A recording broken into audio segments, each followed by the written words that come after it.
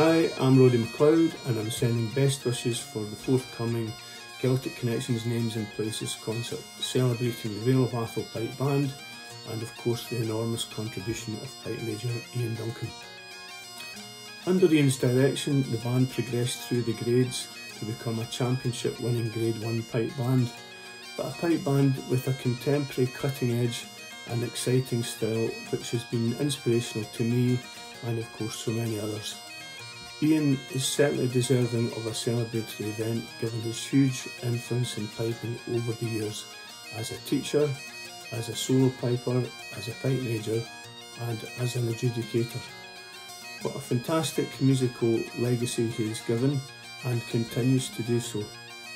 The concert on the 4th of February will pay testament to that, with all of the extremely talented performers either taught or certainly inspired by Ian. I'm sure it'll be a, fantastic night reprising the music of the Names and Places album and I'd like to wish everybody involved all the best and congratulations Ian.